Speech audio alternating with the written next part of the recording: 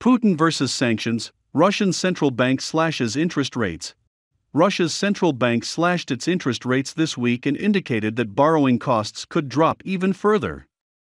The news comes as Western economic sanctions continue to wreak havoc on the Russian economy and supply chains, and the country's leading economists work to stabilize economic conditions. Elvira Nabiullina, the head of the Central Bank of Russia, announced the decision on Friday and took questions for the first time since the Russian invasion of Ukraine began. We are in a zone of colossal uncertainty, she said. We will make decisions on monetary policy taking into account the need to adapt the economy to a radically changing environment, Nabiullina also explained, adding that maintaining price stability remains the bank's main priority. The decision to slash its key interest rate to 14% was unexpected, and economists say that the rate could be dropped even lower in the coming months as Russia tries to control skyrocketing consumer prices. In April, interest rates dropped to 17%, after initially being raised to 20% only days after Russia announced the special military operation in Ukraine. Today, we see room for a key rate reduction before the end of the year, Nabiullina told journalists on Friday. We will make our further decisions on monetary policy considering that the economy needs to adjust to the dramatically changing conditions. Price stability is always the top priority for us as it is critical for steady economic growth, she added.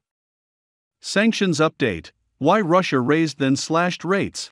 When the Russian central bank initially raised interest rates from 9.5% to 20% in February, the move was designed to stop Russian citizens from withdrawing their cash from the nation's financial institutions. In an effort to save the ruble, the central bank incentivized Russians to keep their savings in domestic banks and ordered domestic businesses to sell 80% of all their US dollar assets. The latest move would, theoretically, make it easier for Russians to make larger purchases and increase demand for consumer and household goods.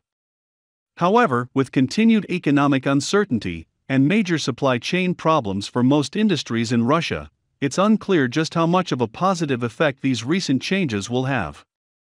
Fergus Hodgson, director of the financial consultancy firm Econ Americas, said the decision was an act of desperation as likely an attempt to catalyze spending and borrowing for business activity. It is a short term Keynesian ploy that might have a marginal effect, Hodgson said. However, it glosses over the deeper problems for the Russian economy. There are many limited trade, low foreign investment, low regime certainty, low productivity, and a lack of the rule of law. Fiddling with interest rates does nothing to resolve the fundamental shortcomings. While the central bank's latest decision may have some temporary or marginal positive impact on the economy, supply chain issues for several key industries remain unsolved.